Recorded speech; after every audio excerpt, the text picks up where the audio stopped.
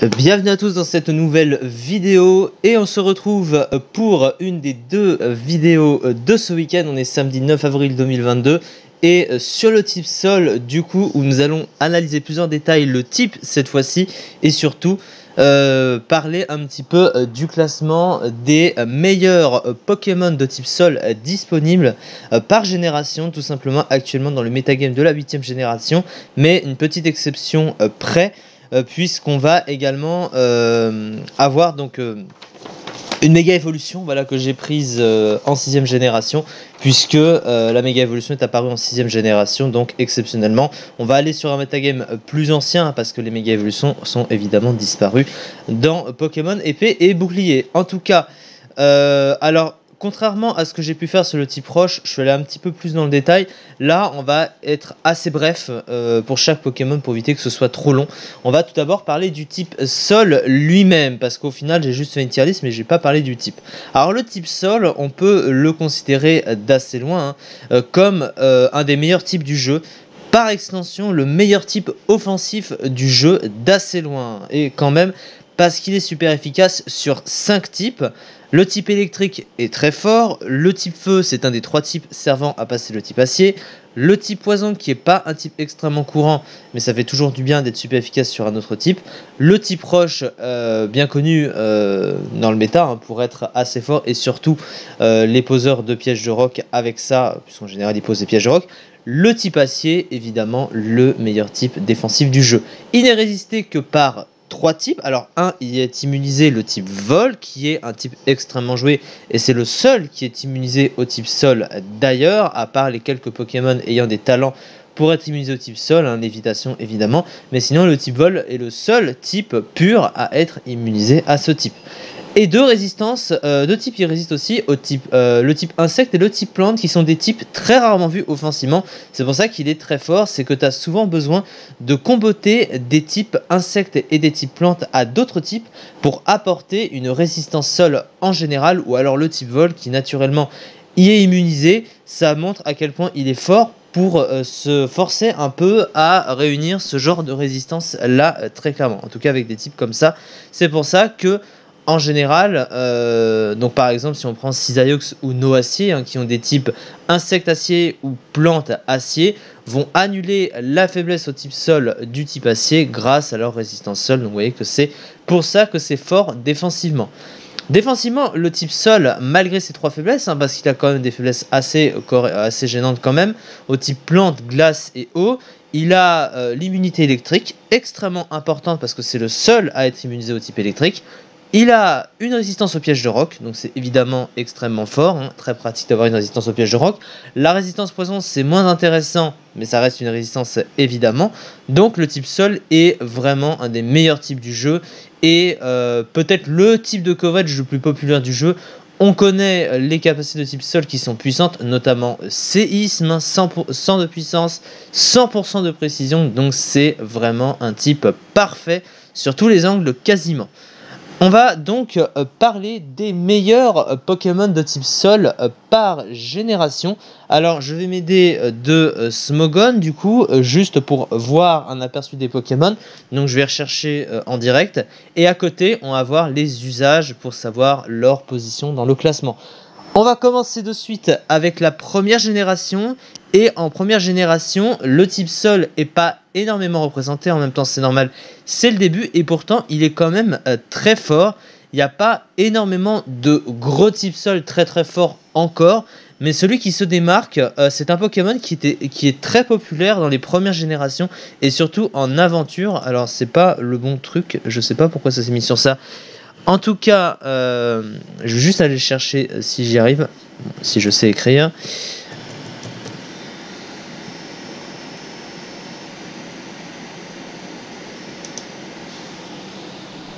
Donc voilà, le premier euh, Pokémon, donc en première génération, il s'agit de Nidoking, hein, tout simplement, qui est le meilleur Pokémon disponible actuellement en première génération, et évidemment la page qui bug, ça me paraît Bon, ça, ça va, ça va repartir. Alors Nidoking est évidemment extrêmement fort, il a beau euh, ne pas avoir d'excellentes statistiques, c'est un peu son problème d'ailleurs. Il possède un type qui est unique dans le jeu, un poison et sol avec Nidoking, le, ce sont les sols à avoir le type poison et sol. Un type qui est extrêmement fort défensivement et offensivement, euh, évidemment parce qu'il possède des résistances extrêmement pratiques, comme on peut le constater. Euh, la résistance combat, la résistance au piégeur bien sûr, la résistance fée, euh, l'immunité électrique du type sol, il a des faiblesses gênantes, mais offensivement ça se combatte. Et surtout, il est connu pour être euh, un Pokémon avec une myriade de moves offensifs. Et donc c'est pour ça qu'en aventure, c'est un Pokémon extrêmement pratique. Alors, euh, il possède également, au niveau des talents, alors à part rivalité et point poison, bien que point poison puisse rester utile dans certains cas, sans limite qui lui donne 30% de puissance euh, sur ses attaques ayant un effet secondaire tout en annulant ce dernier. Donc ça, le rend, ça rend très utile parce qu'il a beaucoup de capacités profitant de ça. La seule chose, c'est que la plupart des capacités en profitant tapent sur le spécial et il tape moins fort sur le spécial que sur le physique. Et le problème, c'est qu'en première génération, les statistiques n'étaient pas vraiment spécialisées. Elles étaient un peu partagées de partout sans qu'il y ait vraiment grand chose qui se détache du lot. C'est le problème également de Nidoking, mais pourtant, il est fort et notez qu'aujourd'hui, il est underused, ce cher euh, Nidoking. Alors, il n'est pas extrêmement bien classé euh, en underused, mais il est underused, donc euh, c'est vraiment fort. Il était underused au début, il y a quelques temps, hein, dans le métadame de la 8 génération, mais il est descendu après parce qu'il était en concurrence avec d'autres et que ces petits problèmes, globalement, le rendaient moins fort. Donc, c'est pour ça que Nidoking derrière était moins fort que ça. Voilà, désolé un petit peu pour, euh, pour ces petits bugs, ça arrive euh, malheureusement. Alors, du coup, donc voilà, Nidoking, il est 56e du classement à 2,16%, mais underused encore une fois, donc c'est plutôt pas mal. On va passer au euh, prochain Pokémon. Alors, qu'est-ce qui m'arrive? Qu'est-ce qui se passe? Non, il n'y a, pas de problème. J'entends bien un drôle de bruit. Euh, en deuxième génération euh, arrive un nouveau type, le type acier, euh, le meilleur type défensif du jeu. Donc le type sol prend une place plus importante parce qu'il est super efficace dessus, je le rappelle. Et il se trouve, alors il n'y a pas beaucoup de types sol hein, qui viennent en deuxième génération, mais un type sol devient sans débat un des meilleurs types acier du jeu et un des meilleurs types sol du jeu. C'est mon Pokémon préféré et c'est grâce à lui que j'ai aimé le type acier évidemment. Je vais juste le chercher dans quelques instants et il s'agit évidemment de Stylix. Stylix est un Pokémon qu'on ne présente plus hein, euh, très clairement. Enfin, moi, je ne risque pas de me tromper avec lui hein, parce que j'ai toujours adoré Stylix vu que c'est mon Pokémon préféré. Ce qu'il y a de bien, c'est que c'est un des meilleurs compresseurs de rôle de jeu. Qu'est-ce que c'est un compresseur de rôle? C'est un Pokémon qui peut tout simplement faire plusieurs choses, avoir plusieurs utilités en même temps pour ce qu'il a. Donc c'est vraiment très très fort. C'est-à-dire qu'il peut être joué défensif, il peut être joué un peu pivot, euh, un petit peu suicide lead aussi, euh, il peut jouer, être joué un peu offensif aussi. Donc euh, il a vraiment plusieurs atouts. La seule chose, alors il a une grosse défense de 200, hein. à l'époque c'était extrêmement fort et ça l'est encore aujourd'hui. Il possède des talents adaptés à part Rockhead qui va être très difficilement utilisable mais sans limite et fermeté sont très bien adaptés à ce compresseur de rôle. Son type acier-sol est un des meilleurs types du jeu, apportant des résistances, celles du type acier entre autres, avec des faiblesses gênantes certes, mais offensivement c'est également extrêmement fort. Il a juste une défense spéciale assez mauvaise, sa lenteur est un problème aussi, mais pour un Pokémon défensif c'est moins grave. Alors après il est un peu limité, surtout en soins. Il n'a pas de bonne capacité de soins à l'exception de repos. Hein, voilà, donc ça sur la durabilité d'un tour c'est important. Mais pour autant, ces euh, moves sont utiles. Vous voyez, il a euh, Provoque, euh, il a le Edgequake offensivement, il a Danse Draco. Aussi, il a Body Press qui joue sur ses 200 de défense. Donc vraiment, ce Pokémon est extrêmement fort. Alors évidemment, c'est loin d'être le meilleur d'un des meilleurs Pokémon du jeu parce que ses statistiques le rattrapent finalement. Euh, mais du coup, il est quand même rarely used, hein, ce cher Stylix, et c'est un des meilleurs Pokémon du rarely used quand même. Hein. C'est un top tier rarely used qui n'est pas le pire tiers du jeu. Donc, euh, si vous avez vraiment de très mauvais Pokémon de type Sol, euh, c'est que c'est vraiment compliqué parce que le type Sol est vraiment très très fort et rarement vous allez voir des Pokémon de type Sol tomber très très bas, à part quelques exceptions près, parce qu'évidemment, il n'y a pas que des très bons Pokémon. Vous en doutez. Mais voyez, 9ème du classement pour ce cher Stylix, 17,68%. Donc c'est vraiment extrêmement fort.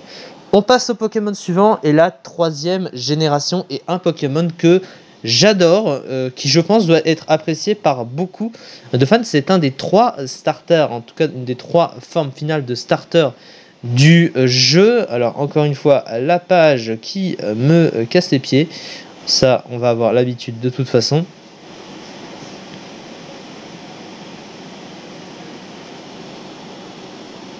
Si tu pouvais fonctionner, ce serait pas mal. ça, ça, ça, me met vraiment du temps à charger. C'est pénible. Euh, on va y venir.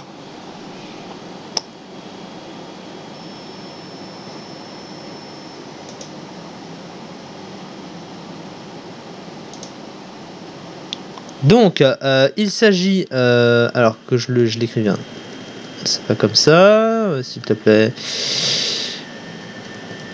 Voilà, le temps que ça vienne. Et donc c'est évidemment euh, l'Agron, euh, le Pokémon, du coup le meilleur Pokémon disponible en troisième génération. Qu'est-ce qui est très fort avec l'Agron euh, bah, Son type, hein, évidemment, son type OSL est extrêmement fort, hein, que ce soit offensivement et défensivement, il apporte d'excellentes choses, il n'a qu'une seule faiblesse. Des statistiques qui sont très bien arrangées, à part le fait qu'il est un petit peu lent. il a aussi un moufoule de soutien un peu limité. Les talents, Bon, il a, pas, ses talents sont pas incroyables. Il a que Torrent et Moiteur. Moiteur qu'on ne verra pratiquement jamais. On utilisera plus souvent Torrent du coup, et qui de base est un talent assez euh, hein, des starters de type O ou des starters en général avec ses équivalents Engrais et Brasier. Mais au-delà de ça, ça reste un Pokémon extrêmement fort puisqu'il a accès à quelques petits trucs. Il a les pièges de rock, il a hurlement, voilà, donc euh, pourquoi pas. Euh, il a aussi obtenu euh, Flip Turn, il a Toxic, Bâillement, Séisme, Cascade, donc c'est gros stab évidemment. Il possède Gonflette pour se booster. Il a Darkest Laria qui lui permet d'ignorer les changements de statistiques de l'adversaire. Il peut même être joué un petit peu spécial dans certains cas puisque euh, son attaque spéciale euh, de 85 peut parfois être utilisée à l'instar de certains Pokémon qui s'en servent à titre de coverage. Il n'est pas un des meilleurs Pokémon du jeu, il a été overused euh, à ses débuts quand il est arrivé dans le metagame de la 8ème génération. Actuellement, il est underused, mais il est un très bon Pokémon underused. C'est également un top tiers, donc bah, honnêtement, on s'en doute, parce que le Pokémon est extrêmement fort. Voilà, euh, je vais juste aller chercher et voyez, dixième du classement pour ce cher Lagron, 17,56%, donc c'est vraiment assez fort. En quatrième génération, je pense qu'il n'y a pas vraiment de débat pour savoir quel est le meilleur Pokémon de type Sol de la arrivée en quatrième génération. C'est un Pokémon peut-être un des plus populaires du jeu, euh, je pense qu'on peut le dire d'assez loin. Laissez-moi juste le temps d'aller le chercher. Voilà, comme d'hab, avec les pages qui bugouillent dans tous les sens, mais évidemment, Karchakroc, le euh, fameux euh, semi-légendaire du jeu. Euh, Karchakroc, je pense que c'est un, un des Pokémon, un des meilleurs Pokémon du jeu d'assez loin. C'est un Pokémon qu'on ne présente plus. Il possède tout Karchakroc pour le rendre excellent finalement. c'est assez rare, hein. c'est vraiment un Pokémon où tout a été mis en place pour qu'il soit très fort. Euh, si je pouvais juste accéder à sa fiche, euh, ce serait bien. Comme d'hab, ça va prendre 3 heures. Voilà, donc Karchakroc, euh, qu'est-ce que c'est? Eh bien, en plus, c'est un Pokémon hein, qui a été banni hein, à plusieurs reprises. Alors, rendez-vous compte hein, que c'est pas un légendaire. Alors, quand il, c'est un semi-légendaire, il a les 600 de Bastat évidemment, des fabuleux, mais c'est pas un légendaire. Et pourtant, il a déjà été banni en Uber. il possède des talents peau dure et voile sable qui ont chacun leur rôle utilitaire, des statistiques très bien arrangées. Il tape fort, un speed tier excellent, un double type excellent défensivement et offensivement. Dragon et Sol avec quelques faiblesses gênantes quand même, mais euh, globalement, Karchakroc est extrêmement fort et il le restera encore longtemps. Euh, euh, il a vraiment tout. Les statistiques sont bonnes. Il a un bulk bon, une force de frappe, une vitesse. Donc il peut tout faire. Il a les pièges de rock, il a Dance Slam, il a le Edgequake. Bref, ce Pokémon, vous l'intégrez dans une team assez facilement, puis 16ème de l'overuse d'un 12,62%. Il n'y a pas de débat. Le prochain Pokémon, Pokémon de la cinquième génération, meilleur Pokémon de type Sol. Là encore, il y a encore moins de doutes que pour Karchakroc. Et d'ailleurs, vous le voyez euh, d'assez loin euh, sur euh, le classement de l'Overhouse. Le meilleur Pokémon qu'on voit ici, Demeteros Totémique. D'assez loin, le meilleur Pokémon de type Sol l'entièreté du jeu si on décompte les gros légendaires. 58,95% de l'overuse. Rendez-vous compte, plus de la moitié des teams sont joués avec, donc c'est presque troll quand vous ne le jouez pas en tant que meilleur Pokémon de type sol du jeu. Donc c'est quand même incroyable de se dire ça. Et surtout, c'est le seul Pokémon, euh, alors on va dire, hormis le, tout ce qui est en Uber, à être resté le plus longtemps euh, premier de l'Overuse et il est resté sur toutes les générations depuis euh, qu'il a été rendu disponible. Jamais allé en Uber à part sa forme de base, mais lui, il est resté toujours premier de l'Overuse. 5e, 6e, 7e, 8e génération encore, c'est vraiment le dieu par excellence de l'Overuse parce que tout ce qui fait euh, tout ce que possède tout ce que possède ce cher euh, Démétéros, euh, c'est vraiment extrêmement fort. Il possède un double type excellent, un des meilleurs types du jeu, le type de Scorvol, Sol et Vol qui lui donne beaucoup de possibilités défensivement comme offensivement. Il a l'immunité au type Sol et l'immunité au type électrique grâce à son double type très avantageux. Au niveau de ses stats, même s'il est un tout petit peu lent, il le compense par un, bulk très intéressant, hein, euh, une très grosse force de frappe, 145 en attaque. Il a même une bonne attaque spéciale qui est rarement utilisée, mais qui peut l'être parce que son move pool possède euh, plénitude, donc faut quand même le noter, même si on le voit rarement. Il a Dance Lame, euh, il a Sabotage, Piège de rock, demi-tour, lame de rock, séisme qui fait très mal. Évidemment, il n'a pas un très bon stab vol physique, mais bon, Ouais, il a vraiment euh, le café, les biscuits, tout ce que tu veux avec. Euh, c'est vraiment un Pokémon qui sera toujours excellent, peu importe les générations où il passe. Et on comprend pourquoi c'est le meilleur Pokémon de l'Overuse. On va passer au Pokémon suivant et là on va s'intéresser à une méga évolution puisque en sixième génération apparaissent les méga évolutions donc il est normal que je parle d'une méga évolution. C'est ce que j'ai fait pour le type roche, je vais donc le faire pour le type sol et la meilleure méga évolution de type Sol qui a été rendue disponible en 6 génération, on, on, le mentionne pour un Pokémon qu'on a déjà vu et qui vient de la troisième génération. Je pense que vous, avez compris de qui il s'agit. Alors, on va juste le chercher. Oh, j'aurais pu aller chercher sur euh, les statistiques actuelles, c'est vrai. Mais vous voyez que encore avant, eh bien, euh, c'est Mégalagron hein, qu'on peut voir ici. Mégalagron qui est extrêmement fort et qui a surtout été rendu extrêmement fort dans les teams Rain de par son euh, talent évidemment. Alors je vais juste aller euh, le chercher euh, dans quelques instants.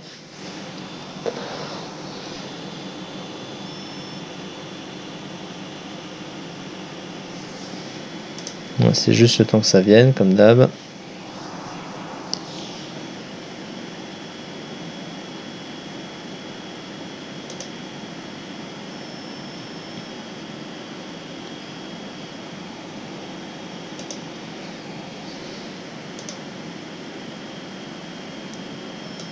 Voilà, hop.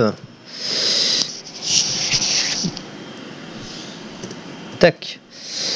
Voilà, Mega Swamper, du coup, euh, qui était donc overuse, donc il est 21ème hein, de l'overuse, comme on a pu le voir, avec un petit 9,02%. Et ce qui est très fort, hein, c'est son talent euh, glissade, hein, qui lui double la vitesse sous la reine, et avec des statistiques boostées par rapport au Lagrange de base qu'on peut voir eh bien c'est vraiment extrêmement fort. Un excellent bulk, une grosse force de frappe. Sur le spécial, c'est utilisable également. Euh, donc vraiment, il est extrêmement fort. Donc pourquoi il est bien classé. On va passer tout de suite à la septième génération. Là, on part, euh, bah, c'est le Pokémon le moins bien classé euh, que j'ai fait jusque-là pour le type sol, mais ça reste un Pokémon qui est assez fort, alors qui est en fait moins bon que d'autres, hein. c'est souvent la comparaison qu'on va lui faire, mais il est quand même assez fort. Alors je peux même le chercher euh, en 7 génération hein, et après rebasculer de toute façon. Alors je crois qu'il euh, ça se dit euh, comment est-ce qu'il se dit? C'est Mud Mud Mudsdale, je crois que ça se dit en anglais.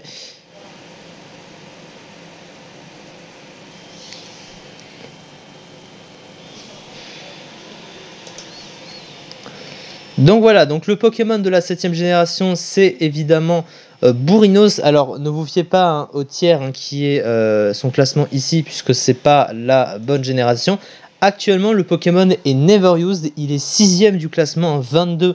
Donc c'est un des meilleurs Pokémon de la 7ème génération et un top tier Never Used. Alors c'est le tiers le plus bas qu'on a pu faire jusque-là. Euh, ce qu'il a de bien, c'est son talent endurant hein, qui lui augmente sa défense quand il prend un coup, euh, avec des stats excellentissimes sur le physique, 125 hein, en attaque, 100 en défense, 100 en PV. Un très bon vol qu'il a même une défense spéciale assez bonne, assez correcte de 85. Le truc, c'est qu'il est un peu trop lent et qu'il manque un petit peu d'options. Et on le compare souvent à Hippodocus qui fait un petit peu mieux dans son rôle. Donc c'est pour ça qu'il est euh, moins bon, mais quand même bien classé. Le dernier Pokémon de notre euh, partie, euh, donc du coup c'est en huitième génération. Alors la huitième génération, c'est le bonnet d'âne de notre vidéo puisque c'est là où le Pokémon de type Sol, le meilleur classé, euh, est celui qui est le plus bas dans les tiers en PU. Précisément, donc quand ton meilleur Pokémon de type Sol en huitième génération, donc dans ta génération, Étant PU, c'est qu'il y a un petit souci. Je veux bien sûr parler de euh, d'Unaconda. Alors, euh, je crois qu'il se dit Sandaconda. Sandaconda. Donc, on va intervenir rapidement sur lui avec ce Pokémon.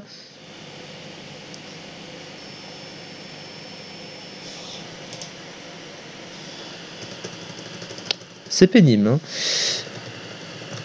voilà, après on aura euh, fini de toute façon. Donc euh, voilà, euh, du Naconda, qu'est-ce que c'est? Eh ben le truc, c'est un petit peu euh, le problème de, celui qu'on a vu avant. En fait, le Pokémon, il paraît correct sur le papier, mais il n'est pas si intéressant que ça. Euh, il a des talents qui sont pas si euh, mauvais que ça, hein, avec Sandvale et euh, Shedskin, mais le truc c'est qu'il manque de puissance. il va être moins bon que d'autres Pokémon de type Sun, donc voilà, à l'instar d'Hippodocus, c'est un peu le même problème. Même Bourrinos est meilleur dans ce qu'il fait. Il possède quelques trucs, genre enroulement et quelques attaques offensives, mais il est quand même assez limité dans son rôle et il n'a pas grand, chose de plus d'intéressant.